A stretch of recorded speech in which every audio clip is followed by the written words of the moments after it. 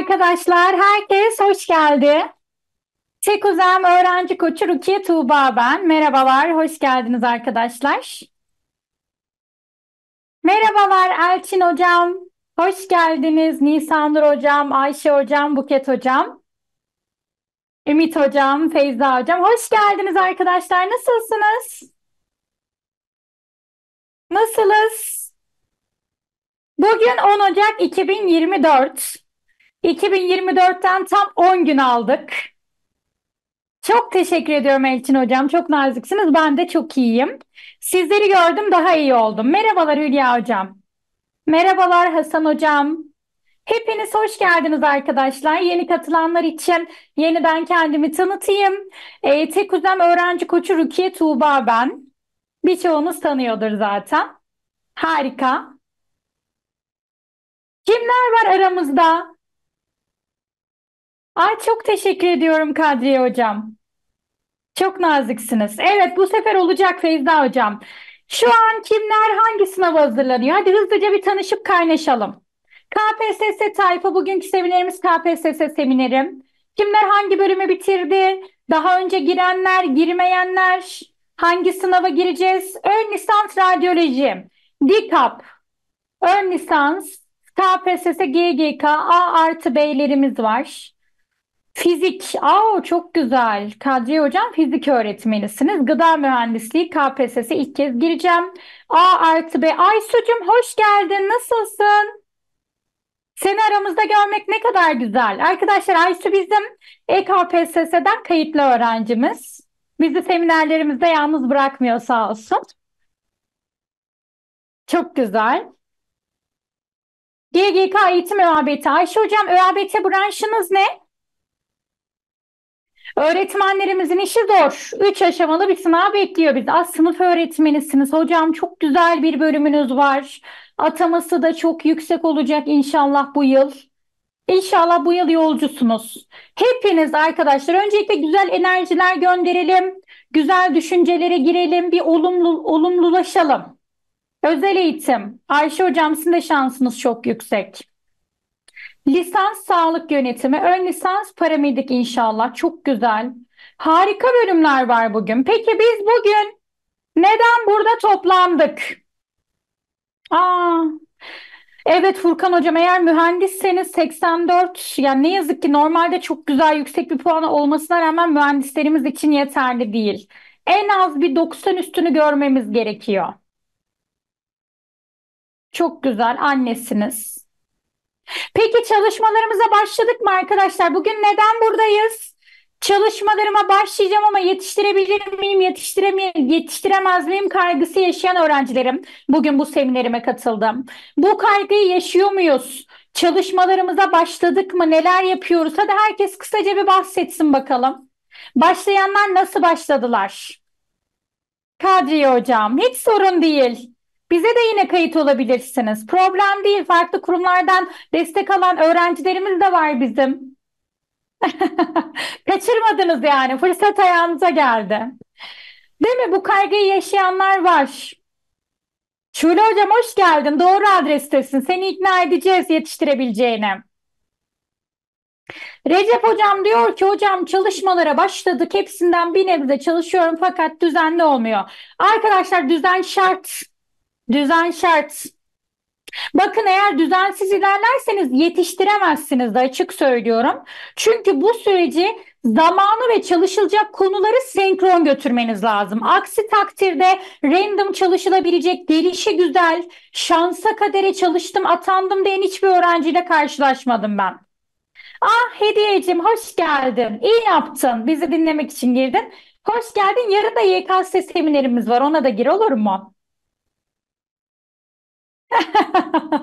Tamamdır. Arkadaşlar bugün bu seminerde olan bütün öğrencilerim dönemin sonunda bütün konularını yetiştirecek ve yüksek puan alacak söz veriyorum. 85 üstü puan alacaksınız söz veriyorum. Eğer gereken yönlendirmelere uyup doğru çalışır, istikrarınızı bozmadan ilerlerseniz arkadaşlar ben bu sözü size Tekuzem'in yapay zeka sistemiyle veriyorum. Daha önce bizi tanıyanlar var. Kayıtlı öğrencilerimiz var. İlk kez tanışacaklarımız var. Hepiniz yeniden hoş geldiniz diyerekten hızlı bir giriş yapacağım. Şimdi arkadaşlarım o tarih 10 Ocak 2024. Benim sınavım ne zaman? 14 Temmuz 2024 lisans için söylüyorum. Ön lisans ne zaman? 1 Eylül 2024. Orta öğretim ne zaman? 15 Eylül 2024. Yani takribi şu an hepimizin gireceği sınavlara ortalama 6,5-7 ay var mı? Var. Bu süre yeterli mi? Yeterli ama neye göre yeterli? Biliyorsunuz ki arkadaşlarım zaman çok subjektif bir kavramdır. Zamanın içeriğini sen dolduracaksın. Verimli de geçirebilirsin, verimsiz de geçirebilirsin. O yüzden bu zaman sana göre kısa da olabilir, yeterli de olabilir. Ama biz ne istiyoruz? Yeterli olan tayfada olun. Bu zamanı dolu dolu geçiren, verimli geçiren tayfada olun. Bunun için yapmamız gereken birkaç küçük şey var. Dikkat etmemiz gereken birkaç nokta var. Öncelikle çalışırken arkadaşlarım sınavı çok iyi tanımamız gerekiyor. Bakın bu sınava milyonlarca öğrenci giriyor. Sadece siz istemiyorsunuz kazanmayı. Hepsi çok istekli, hepsi çok idealist. Öyle düşünün. Rakiplerimizin çok güçlü olduğunu düşünelim ve kendimiz aynı gücün daha fazlasını gösterelim. Bir, ne yapıyorum? Sınavı çok iyi tanıyorum. İki, öğrenme yapınızı bilmeniz gerekiyor. Şu an bu seminerde olan öğrenme yapısını bilen öğrencilerimiz var mı? Tek ödemin analizlerine girenler var mı? Hadi bakalım. Aa Hüseyin hocam evet ben almış olabilirim. Çünkü o kadar çok kayıt alıyoruz ki hocam. 4 yaşında kızım var nasıl çalışacağım? Ayşe hocam seminerde kal. Ay Hediyeciğim çok teşekkür ediyorum. Beni çok mutlu ettin gerçekten. Sana kalp. Harikasınız. Arkadaşlar öğrenme yapısı nedir? Özellikle öğretmenlerim, eğitim fakültesinden mezun olan kıymetli hocalarım, formasyon alan hocalarım. Her birimizin tıpkı parmak izi gibi öğrenme yapısı vardır arkadaşlar ve bu hepimizin birbirinden farklıdır. Bakın ikizler dahi olsanız, ikiziniz bile olsa, kardeşiniz bile olsa, çok yakın arkadaşınız bile olsa her birinizin öğrendiği süre, algılama şekli, unutma süresi, dikkat dağınıklığı, stres düzeyi, psikolojik yapısı, öz disiplin seviyesi birbirinden farklıdır arkadaşlarım. Bu yüzden öğrenme yapımızı keşfedeceğiz. Nasıl olduğunu da birazdan açıklayacağım. Kalın seminerde.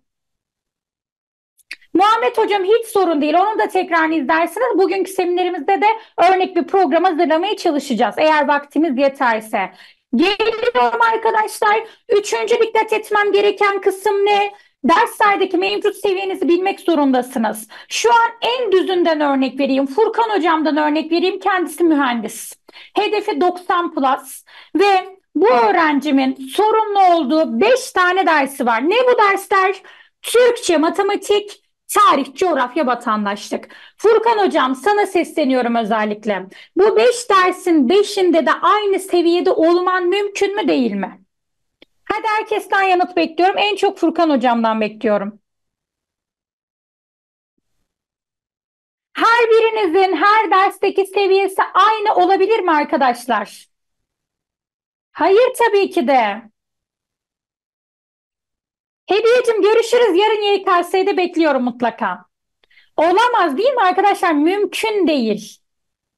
Bu yüzden mevcut derslerdeki seviyenizi bilmeden çalışmaya başlamamalısınız. Aksi takdirde yaptığınız çalışma doğru mu yanlış mı bilemezsiniz. Vaktinizi boşa ayırmış olursunuz. Bizim fazladan vaktimiz yok arkadaşlar değil mi?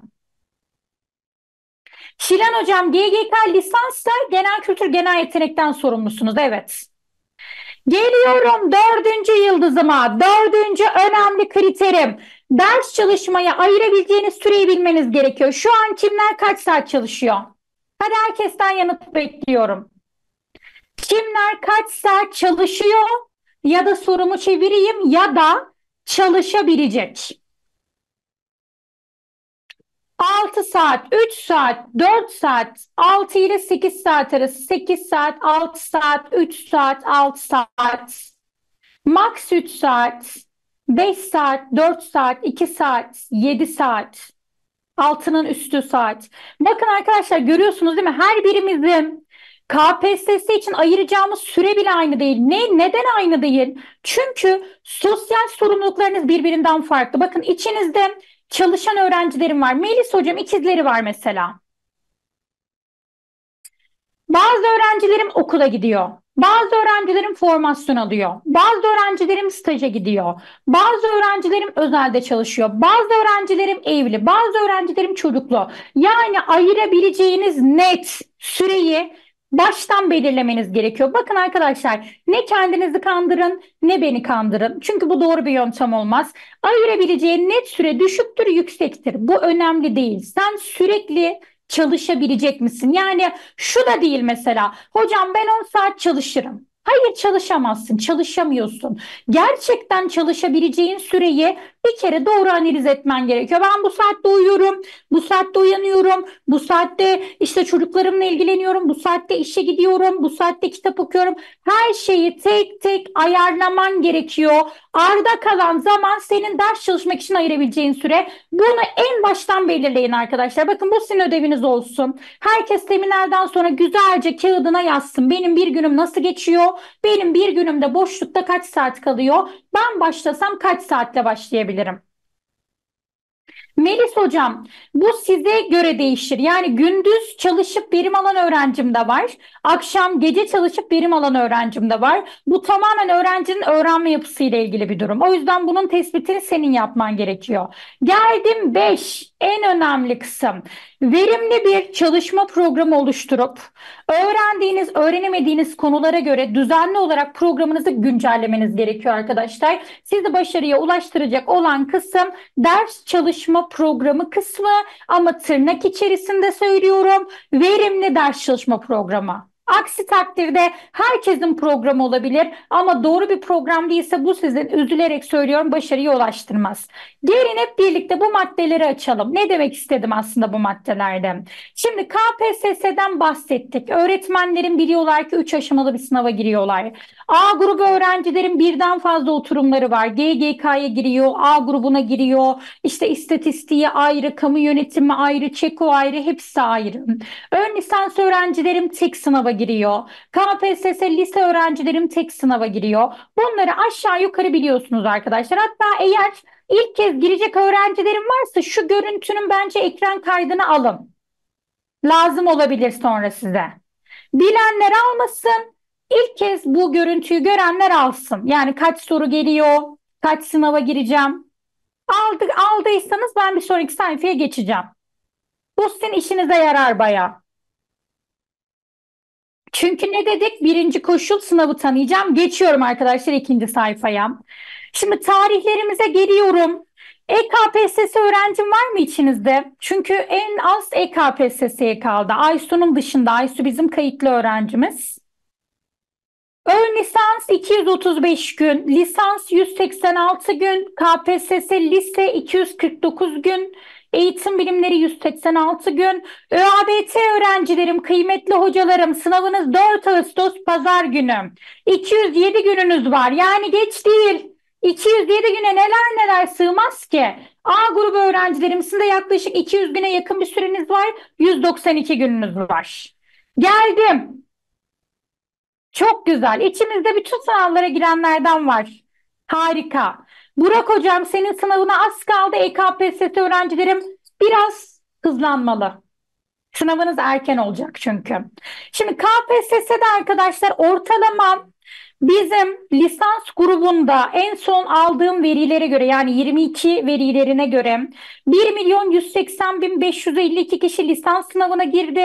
Bu yıl bu sayı 2 milyonu geçecek demedi demeyin. Beklediğimiz rakam 2 milyon lisans öğrencilerim. Bu sözüm sizeydi. Ön lisans öğrencilerim 1 milyon 159 bin bindi.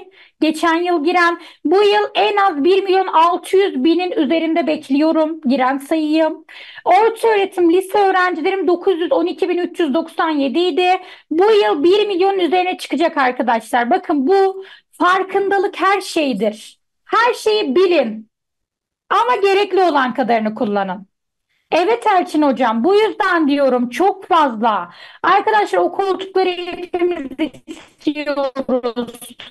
O önlükleri hepimiz istiyoruz. O konforu, o atanmanın verdiği hazzı inanın hepimiz istiyoruz. Ama küçük bir azınlık bunu yaşayabiliyor. Ben isterim ki siz bu azınlıkta olun. Yani o geniş havuzda, atanamayan tayfada, kazanamayan tayfada, umutsuz tayfada olmayın. Milyonlarca kişiyle yarışıyorsunuz. Fark atmanız için farklı olmanız gerekiyor. Bunu da unutmayın. Geldim. Öğrenme yapısına hocam o neydi diyen öğrencilerim vardı. Çok normal. Çünkü arkadaşlar öğrenme yapısı ne öğrenciler, ne öğretmenler, ne eğitim kurumları tarafından çok e, önemsenen bir durum değil. Artık ülkemizde o kadar çok geleneksel yapıda, o kadar çok kitlesel eğitimler verilmeye başlandı ki arkadaşlar. Biz bireysel ihtiyacımız var mı yok mu bunu bile unuttuk. Neye ihtiyacımız olduğunu unuttuk. Bir rakiplerimden farklı mıyım, değil miyim bunları unuttuk. Ama bilin ki arkadaşlar eğitim bireysel bir ihtiyaçtır.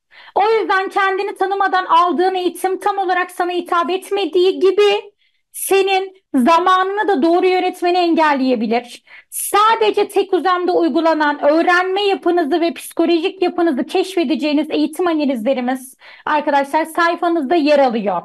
Zaten içinizde çözen öğrencilerim vardır.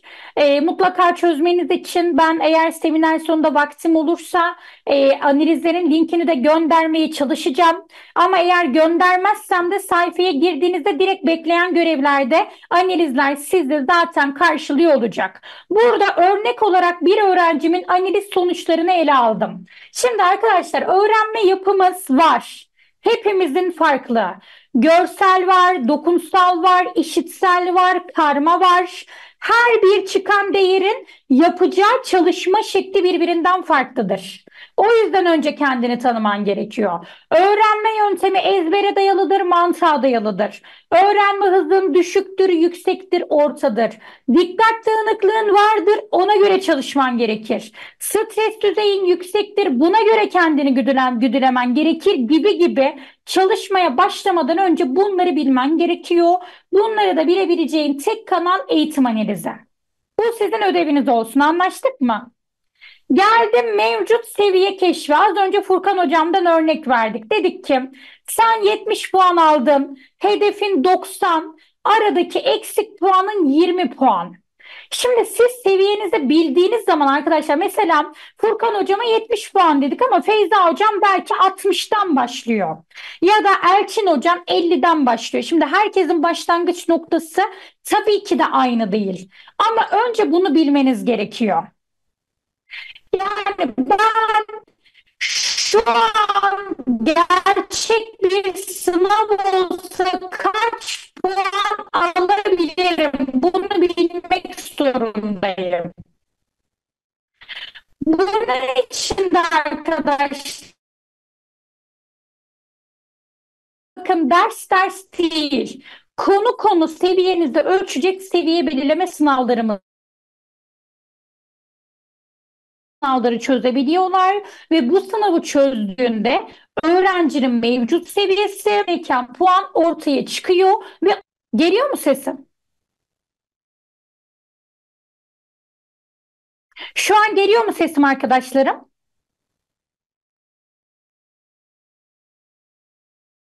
Geliyor değil mi sesim? Şu an iyi galiba değil mi? Tamam harika. Kaldığımız yerden devam. Siz hangi derste, hangi seviyedeyseniz arkadaşlarım seviyenize uygun bir e, program, uygun bir çalışma yapmak zorundasınız. Şimdi bu sayfa benim çok önemsediğim bir sayfa. Çünkü her birinizin sahip olabileceği 5 tane farklı seviye var arkadaşlar. Bunu numaralandıralım hatta 1, 2, 3, 4, 5, 5 diyelim. 1. Temel seviye. Yani o derste o konuda hiçbir seviyen yok. Ne yapman gerekiyor?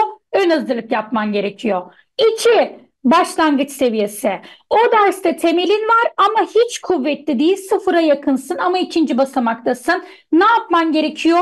Detaylı konu anlatımı çalışman gerekiyor. Üç, orta seviyedesin. Yani daha önce çalıştın, yarıda bıraktın, çalıştın, unuttun. Ne yapman gerekiyor? Detaylı konu tekrarı yapman gerekiyor.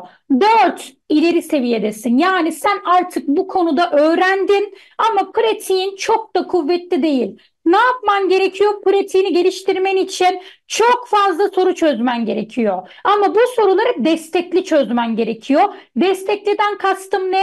Yanlış yaptığında gidip doğrusunu öğrenip gelip yeniden o soruyu çözmen gerekiyor. Yanında kaynakların, desteğin, önünde videon olmalı. Onu artık yanlış yapmayana kadar bu yöntemle çalışmalısın eğer ileri seviyedeysen. 5. Üst seviye. Üst seviye arkadaşlar bizim her birinizin ulaşmasını istediğimiz seviyedir ve artık bu seviyede sen yüzde yüz o konuyu öğrenmişsindir çıkabilecek kolay da ortada zor seviyede olsa bütün sorulara hazırsındır. Konuyu kavradın ama soru çözmeye hala devam etmen gerekiyor. Şimdi sizden ricam burada çok detaylı bilgiler paylaştım. Bunu özellikle kendinizin okuyup kavramasını istediğim için herkes bu ekranın görüntüsünü alsın bakalım bir.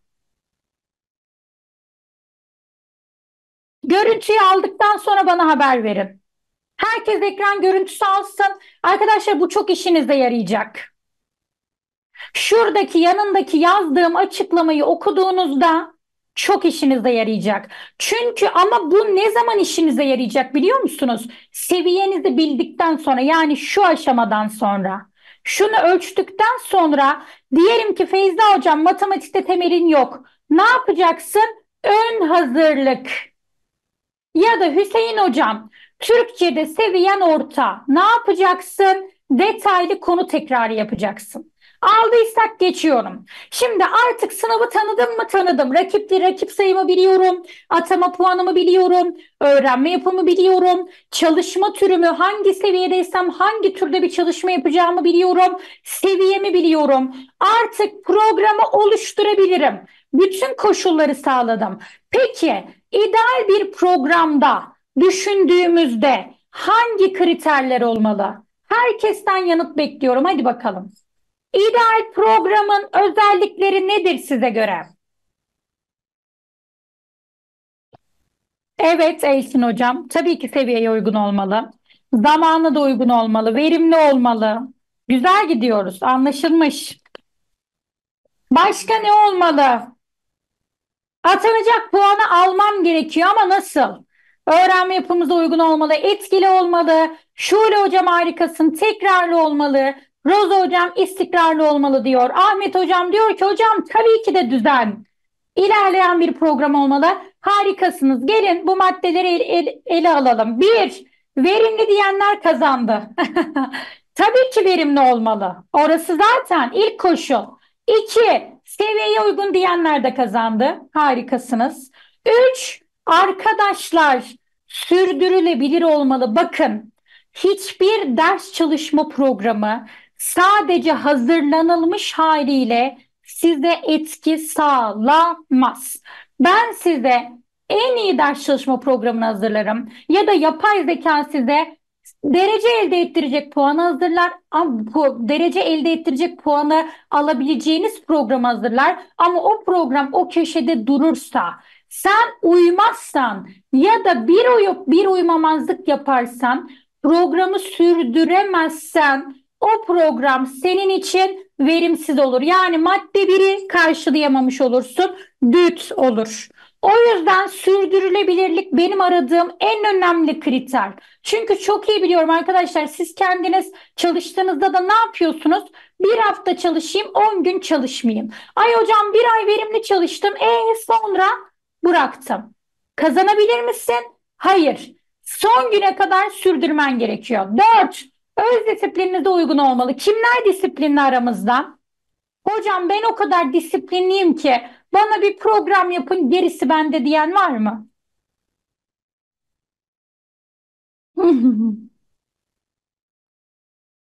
Wow, Hafız hocam harikasınız. Ümit hocam, Feyza hocam, Melis hocam çok iyi etkilendim. Bakalım analiz sonuçlarınızda da böyle çıkacak mı?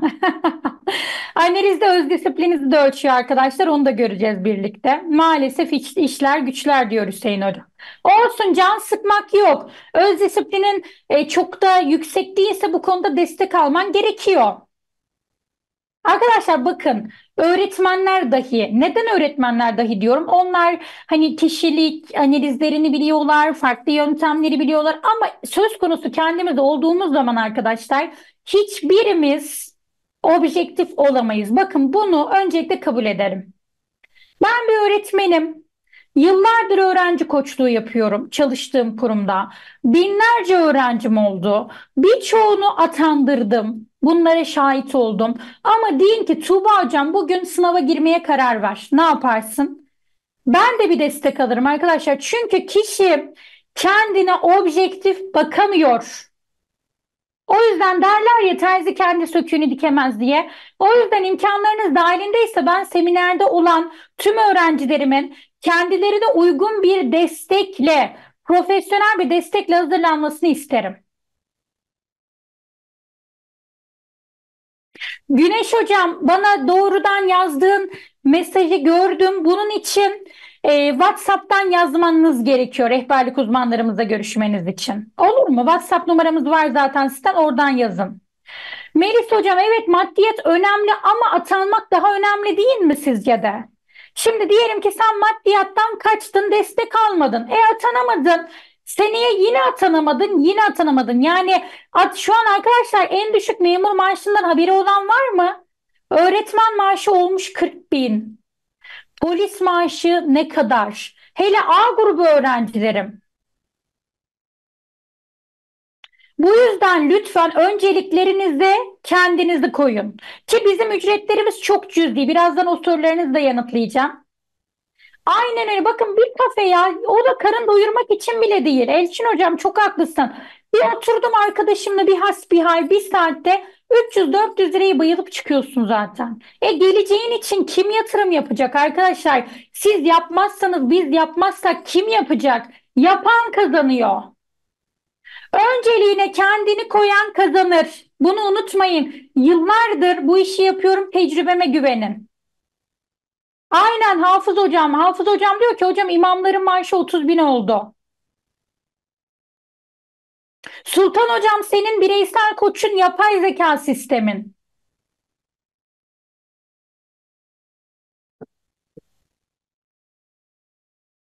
Evet, ben sabah açma aldım 45 lira. Aynen öyle arkadaşlarım. O yüzden ne diyoruz? Bugün bir milat kabul edin. 10 Ocak 2024. Artık atacağımız bütün adımları kendimiz için atacağız. Bakın bugün çıktığınız bütün basamaklar yarınki hayatınızın temellerini oluşturacak arkadaşlar. Siz nerede olmak istiyorsunuz? Sınav takta yani sınav sonuçları açıklandığında üzülen, sıkılan tarafta mı? Vay be dereceme bak, puanıma bak diyen tarafta mı? Bir de bu işin sosyolojik kısmı var, toplumsal kısmı var. Sınava gireceğini herkes biliyor. Sonuç açıklandığında gelip soracaklar Ayşe ne yaptın? Kaç puan aldın? Aa atanamadın mı bu yıl? Hmm. Bunu diyecekler arkadaşlar. Bunu duymamak istiyoruz değil mi? Geldim 5. Sonuçları ölçülebilir olmalı arkadaşlar. O yüzden gerçekçi ve objektif bir ders çalışma programınız olursa eğer bunun sonuçlarını somut verilerle ölçebilirsiniz. Bizim sistemimizde kayıt olan öğrencilerimizde haftalık olarak yapay zeka sisteminin performans takibi var. Ve sürekliliği devam etmeli, sürdürülebilirle benzer bir özellik. Öğrenme yapımızda tabii ki de uygun olmalı. Sen Ahmet Hocam eğer görsel öğrenme karakterine sahipsen bu ne demek oluyor? Senin zihnin fotoğraf makinesi gibi çalışıyor. Yani gördüğün şeyleri daha geç unutuyorsun. Nasıl çalışman gerekiyor? Görsel içerikleri sonuna kadar kullanman gerekiyor. Bize kayıt olduğunda diyelim ki sen kayıt oldun seminerden sonra sisteminde görsel içeriklerle senin öğrenmeni destekleyeceğimiz çok fazla notların ve içeriklerin olacak. Bunlardan faydalanmanı sağlayacağız mesela. Ve en önemlisi tabii ki de size özel, sizin gibi biricik ve tek olmalı. Yani kişiye özel olmalı arkadaşlar. Şimdi herkes hazırsa örnek bir çalışma programını hazırlayalım. Seminerden sonra siz de girip bir defaya mahsus örnek olarak kendi sayfanızdan hazırlayabilirsiniz. Tabii ki Elçin Hocam. Kayıttan da bahsederim. Şimdi geldim. Hı.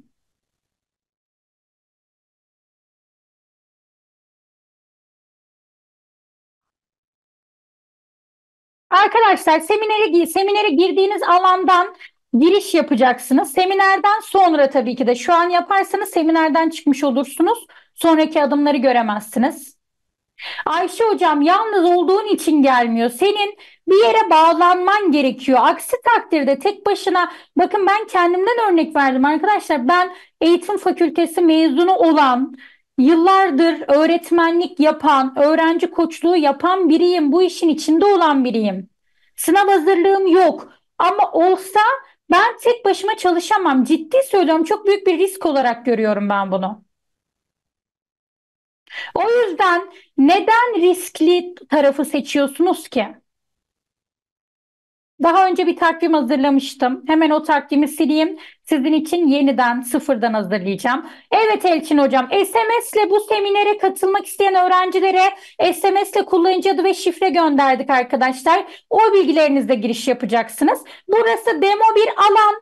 Kayıtlı olan öğrencilerin bu alandan zaten sınırsız bir şekilde faydalanıyorlar ve yapay zeka sistemi üzerinden sürekli olarak program hazırlayıp güncelleyebiliyorlar. Tabii ki de program için önce ne gerekli dedik arkadaşlar? Seviyemizi bileceğiz, öğrenme karakterimizi bileceğiz. Yani bunun için tek uzemin eğitim analizlerini ve seviye belirleme sınavlarını çözeceğiz. Sonra geleceğiz takvim alanından.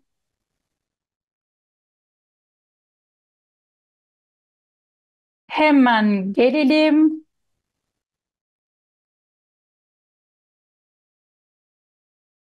Tamam. Tabii ki Hafız Hocam Allah kabul etsin.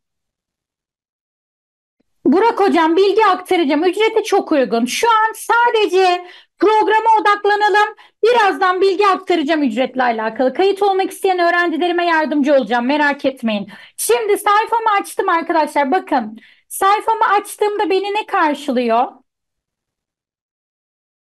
Adım ve soyadım karşılıyor. Bakın. Ve bilgisayardan giriyorsam sağ üst köşede eğitim analizlerim ve seviye belirleme sınavlarım var. Evet, hepimize dua edin lütfen. Şu an bu seminerde olan herkes atansın. Duamız bu. Amin. Arkadaşlar analize tıkladığınızda teste başla dediğiniz an analiz testine başlıyorsunuz. Bunu sessiz olan, dikkatinizin toplu olduğu bir ortamda çözüyorsunuz. İkinci görevim neydi? Seviye belirleme sınavı. Tek uzeme kayıtlı öğrencilerin bütün derslerden, konulardan ayrı ayrı seviyeleri ölçülüyor. O yüzden burada Türkçe, matematik, coğrafya, tarih, vatandaşlık hepsinden sınavları çözüyoruz. Kayıt olduktan sonra bunlar oluyor arkadaşlar. Bunları şu an çözmenize gerek yok. Kayıt olduktan sonra zaten çözeceksiniz. Bekleyen görevlerden aynen. Sonra takvime tıklıyorum ve ben size bir ödev vermiştim. Neydi o? Herkes kalemini kağıdını alacak ve gerçekçi bir şekilde ben günde kaç saat çalışabileceğim? Bunu yazacaksınız arkadaşlar. Ve hangi saat aralığında çalışabileceğim? Geliyorum takvim oluşturan. Program derslerini seçe tıklıyorum. Bunlar normalde burada oluyor arkadaşlar. Ben daha önce örnek bir program hazırladığım için İsterseniz bütün dersleri birlikte de çalışabilirsiniz arkadaşlar ya da birkaç dersi de çalışabilirsiniz. Tek tek de çalışabilirsiniz. Ben artık sınava 6 ay gibi bir zaman dilimi kaldığı için hepsini birlikte çalışmak istiyorum. Kaydete tıkladım. Evet benim de söylerken aklıma bu geldi. Sultan hocam zaman aralığı belirtiyor. Sen o zaman aralığına uyman gerekiyor. Burada günde Kaç saat ders çalışabiliyorsan gerçekçi bir şekilde onu yazacaksın. Yeterli süreyi yapay zekaya vermen gerekiyor. Ben mesela günde 6 saat rahatlıkla çalışabilirim. Hem de hafta içi hafta sonu için ayrı da yapabiliyorum arkadaşlar.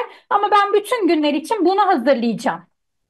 Çünkü her gün 12 ile 18 arasında müsaitim. Oluştura tıklıyorum.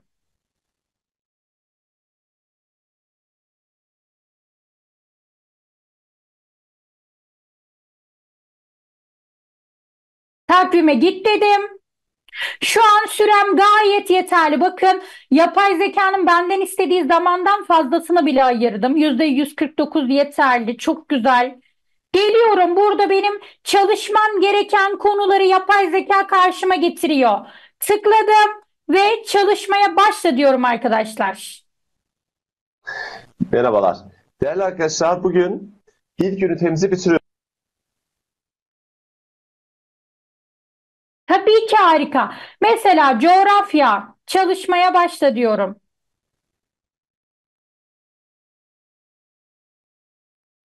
Sevgili gençler, Yani yapay zeka bana ne yapmış oldu arkadaşlar? Dakika dakika mola vereceğim sürelere kadar hangi gün hangi konuyu hangi saat aralığında çalışacağıma kadar bir hafta boyunca bütün çalışmalarımı planladı. Sizce de günü gününe böyle bir programa uyum sağladığımızda başarılı olmamız çok kolay olmaz mı? Ebrar Hocam siz kayıtlı öğrencimiz misiniz? Tamam bunun için rehberlikten rehbere sor. Bakın gösteriyorum şu anda. Buna tıklayıp talepte bulunur musunuz rehberlikte görüşmeniz için? Elçin hocam diyor ki hocam peki kaydoldum diyelim. Buradaki videolara bağlı kalmak zorunda mıyım? İstediğim hocadan dinleyip bu yapay zekaya işleme yapabiliyor muyum? Evet Elçin hocam. Buradaki hocalara bağlı kalmak zorunda değilsin. İstediğin, takip ettiğin farklı öğretmenlerin varsa ya da farklı kurumlardan destek alıyorsan bile hiç sorun değil. Orada yaptığın çalışmaları gelip buradan işaretleyebiliyorsun.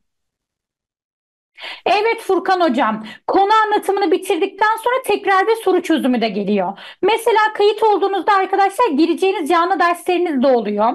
Diyelim ki tarih mesela. Bu derslere girip öğretmenlerimizle birebir konu anlatım dersleri işliyorsunuz. Tekrar soru çözümü işliyorsunuz. Şule hocam eğer takvime uyum sağlayamazsan yapay zeka bunu belirliyor ve önümüzdeki haftanın ders çalışma Evet programına arkadaşlar. bu hafta uyamadığın otomatik olarak ekleyecek. Merhabalar, merhabalar, merhabalar.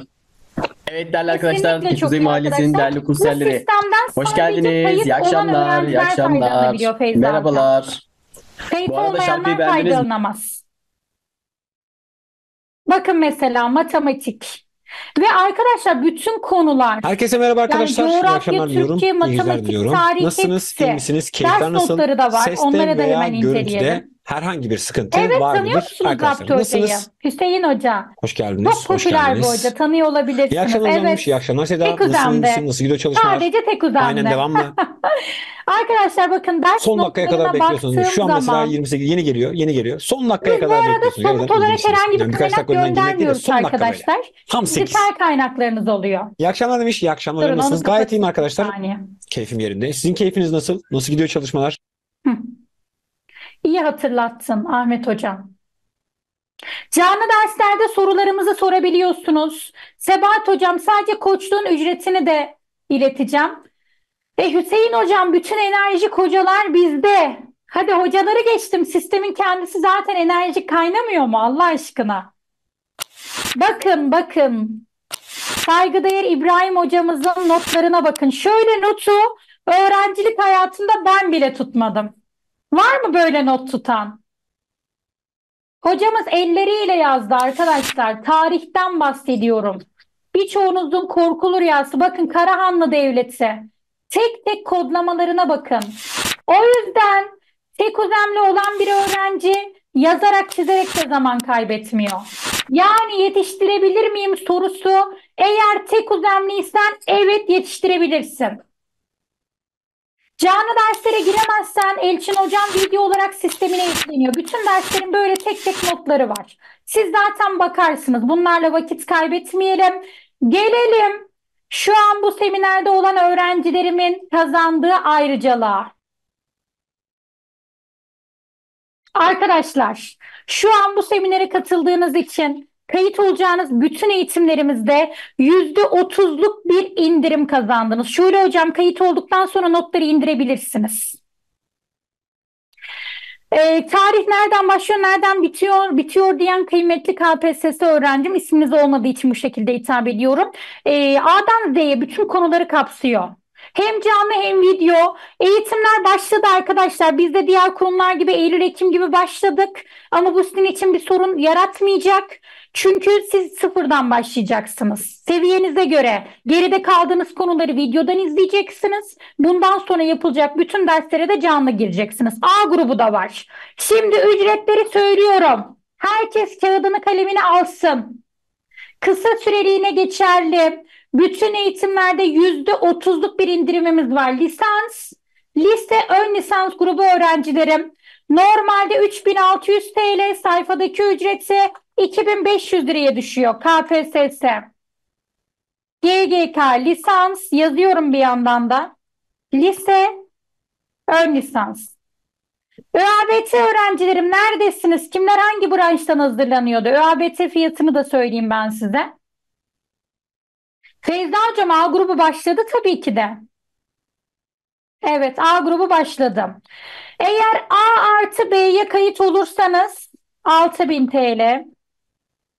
Üçlüye hazırlanan öğrencilerim, GGK eğitim ÖABT, kıymetli ÖABT'si olan hocalarım, öğretmenlerim. Üçlü paket onu da yazalım.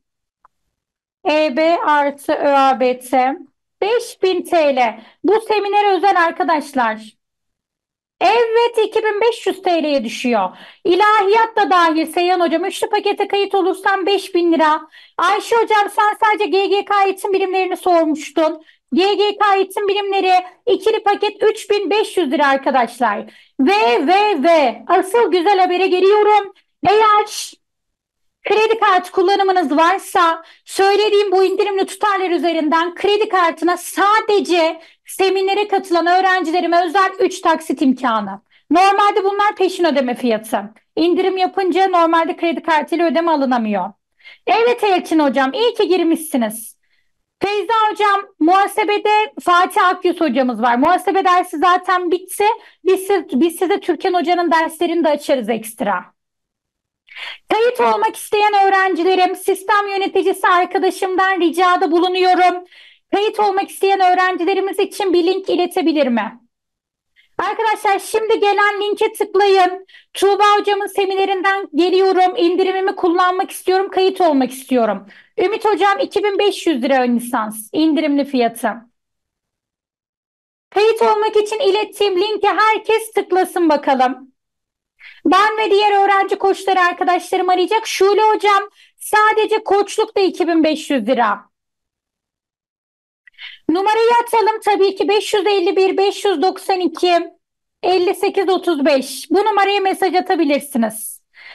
Anlarlar ama yazmanız da iyi olur Esin Hocam. Çünkü normalde tutarlarımız farklı. Sadece seminere katılan öğrenciler bundan faydalanabilecek. Arkadaşlar linke tıklayın. Eğer link size atıyorsa kopyalayın. Ya da şurada gördüğünüz numara var ya şu WhatsApp. Bunun ekran görüntüsünü alın ve yazın. Tuğba hocamın seminerinden geliyorum. Kayıt olmak istiyorum diye 551 592 58 35. Aynen öyle. Var mı sorularınız?